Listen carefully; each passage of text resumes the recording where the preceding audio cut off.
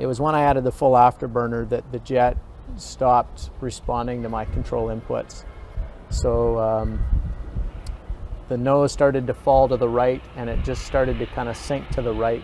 So I remember my hand on the stick pushing forward and to the left corner to try to correct that. But still, the plane kept turning and started to plummet.